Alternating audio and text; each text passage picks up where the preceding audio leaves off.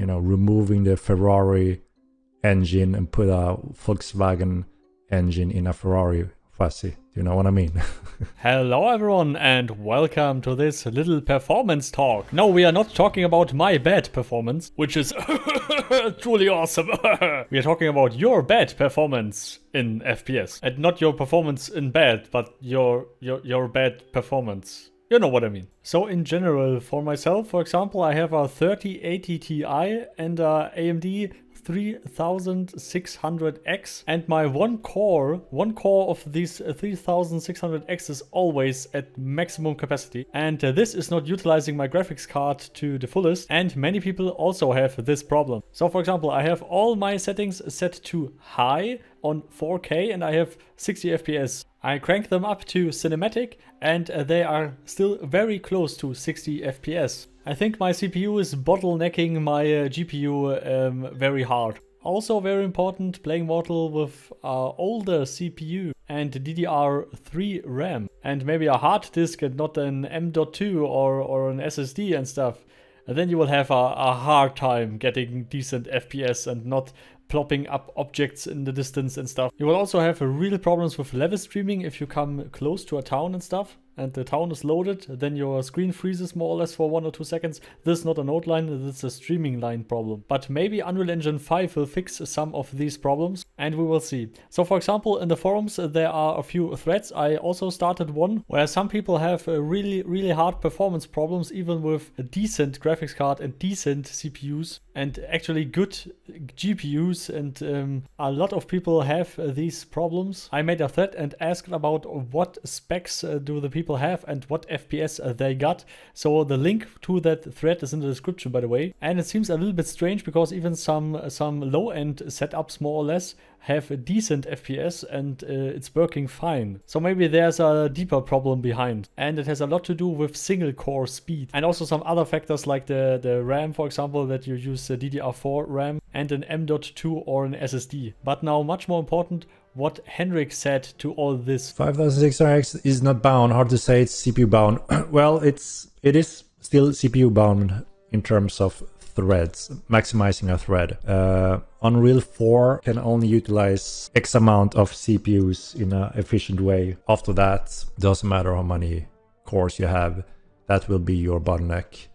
Um, that is something that is improving every now and then. Um, so yeah, if you actually look at your threads, you're gonna see that you're bound pretty much when playing Mortal Online. One of the, at least one thread is hitting 100%, and that is kind of the more common CPU bound uh, for a game. So I was interested in seeing that the new uh, Intel CPU 12,000 something series that is actually utilizing some of the cores to be fast efficient for gaming that could actually pu- push this game quite a bit forward as well, or should push it a little bit forward. Um, Got a 39 and get shit FPS. I got that card too, and I'm around 200 to 300 FPS at top. And when I'm at the worst places or having 100 players on the screen, I'm around 40 FPS, which is perfectly fine when it comes to 100 players in the detail of level that our game offers. And pretty much compared to any other MMO that I played, uh, that is very impressive numbers. Ryzen 7 1080, I have no lag.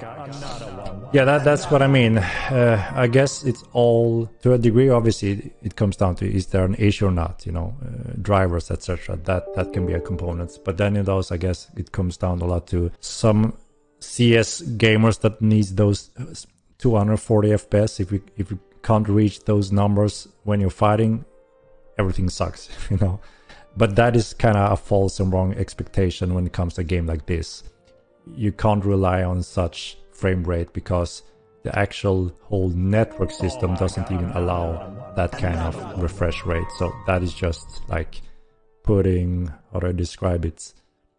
Uh, you know, removing the Ferrari engine and put a Volkswagen engine in a Ferrari chassis. Do you know what I mean? Will the UE5 switch port cause a full player data wipe? No. Got 3060 laptop and runs great at Epic. Yeah, that, that's that's what I mean. It's you know obviously we need to look closer when it comes to good computers having um, unexpectedly low performance. You know if there's an issue, you know corrupt cache files in any way that causes performance problems. There could be cases like that. Uh, so obviously something we need to look closer at. Oh but overall, performance is good when things are working as intended in terms of client. Bad performance in sewers. I mean, obviously it depends a lot, or you know, everything depends on the hardware you're you're playing it on as well. But when we have collected data throughout the whole beta, uh, you can run a game on a quite low spec computer. Now I'm not talking about, uh, you know, a 10 year old computer perhaps, but uh, decently okayish computer. I mean, it's still a next generation visual open world game that is the most demanding game type you can play. So obviously having this high visual quality uh, including in this complex world obviously there's a cost with that right um, but overall all the feedback we gather is that um, performance is great you, you, you get pretty good frames on a older cpu and graphic card but again it, it you know it all depends on what everyone see as good or bad performance and uh, old or new computer it, that's that's all individual, right? It is CPU heavy, yes, it is CPU bound. So if you have a very old CPU, that will hold back your GPU quite a bit. Um, and that is why you saw all the latest patch we did throughout the beta up till release was pretty much CPU optimization. So we squeezed out as much power as possible uh, offloading from the CPU. 8000 uh, 700 and I'm lagging as hell in sewers. That sounds like something is very wrong because with that kind of spec you should be running the sewers flawlessly and that is what people are actually doing. So that sounds strange. I don't know how you can have bad performance on those specs. That is, I don't know. Um, you know, check settings, worst case, you know update all drivers.